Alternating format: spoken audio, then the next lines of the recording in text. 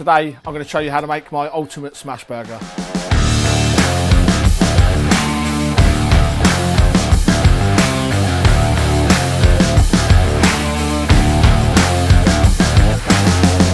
A good burger starts with a good bun and that's why I like to use these St Pierre seeded brioche buns. They're rich, they're buttery and most importantly they hold nice and firm against a good greasy filthy burger. Sticking to keeping it simple, beef mince, just 100% beef mince, 20% fat, at least 20% fat, maybe 25, you can even go up to 30. We're not going to do anything with the mince other than season it with salt and pepper once it goes on the grill. We're going to caramelise an onion and get some bourbon running through there, so some bourbon caramelised onions. Of course, we've got some mayo on the bottom of the bun. We're going to go in with a burger sauce on the top, which is just simple ketchup, mustard, and a touch of hot sauce.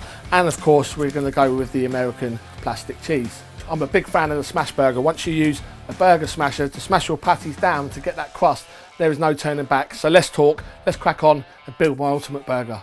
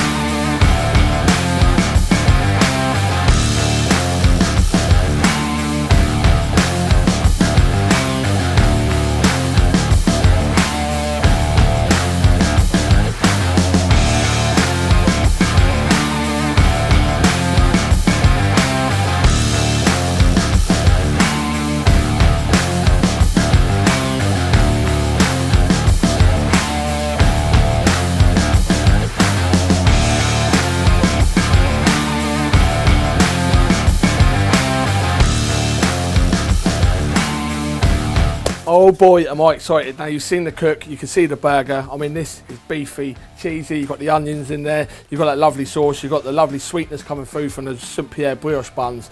Ah, oh, I cannot wait to give these a go. I'm the Smokin' Elk, thanks for watching, and I'll see you again soon.